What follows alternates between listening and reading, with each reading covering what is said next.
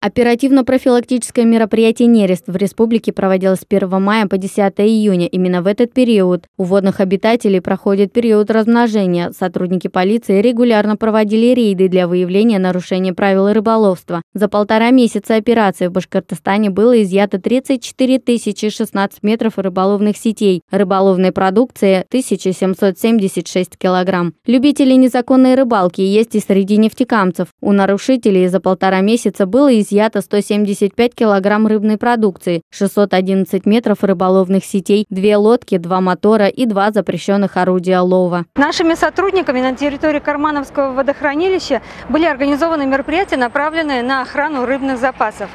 За несколько дней этих профилактических мероприятий нами выявлено 12 фактов браконьерства. Сотрудники полиции совместно с инспекторами Минэкологии составили 10 административных материалов. Ну и отделом дознания возбуждено два уголовных дела по статье 256 Уголовного кодекса Российской Федерации. Санкция данной статьи предусматривает штраф от 100 до 300 тысяч рублей, либо исправительные работы сроком на 2 года или арест сроком на 6 месяцев.